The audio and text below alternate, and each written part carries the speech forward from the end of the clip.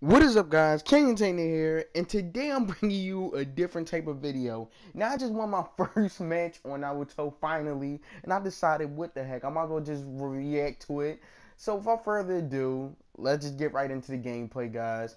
Now, I was I was going to go with the normal format, Naruto, Shisui, and um, um Hashirama, but I decided I, I should use somebody different. Now I chose my homeboy from back in the day, even though I can get hurry up and get to him. There you go. My homeboy Choji, there we go. Now I yo I chose him. I said I was about to say I chose him, but I chose him because you know the human boulder thing, the spike human boulder, and I stuck with Hashirama and I still use Sasuke the last. Now this was a tough match. I ain't gonna lie and say it was easy.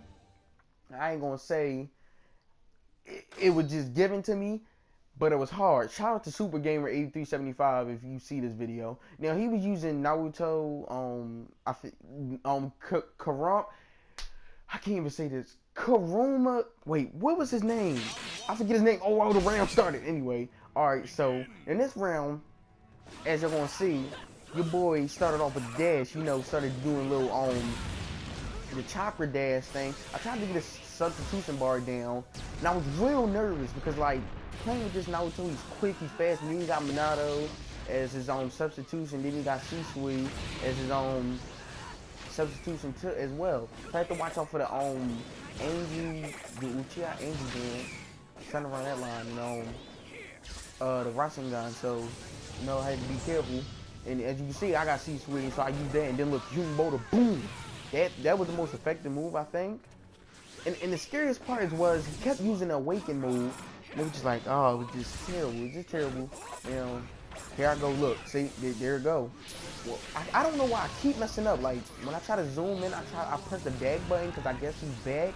But I go back because I press the back button and boom, there it go. Now this is where it start getting critical. Watch this, y'all.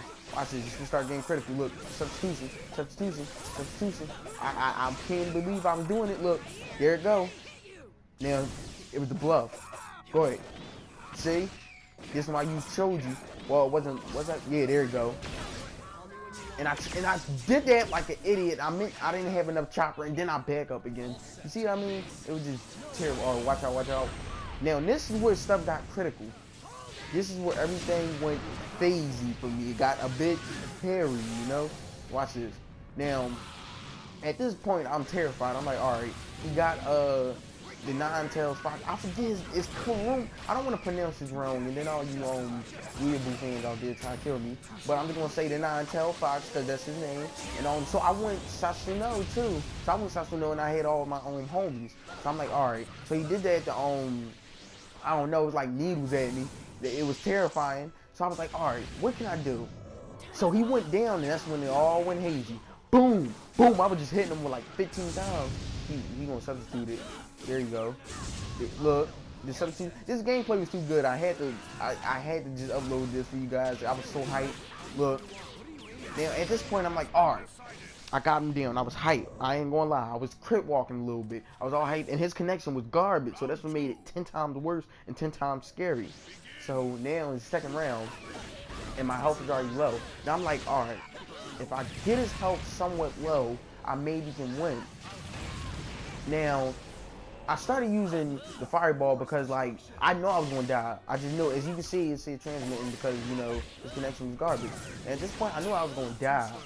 Like I felt it, but I was just like, you know what, I had to um keep using the fireball jutsu, the um inferno style, because I, it, it, just wasn't. If I would have won like this, it would have been like the most amazing gameplay. But I ran out of substitution. I was just trying to get it his his own health as low as possible, and I lost this round. At this point, I'm like, all right, I have to win.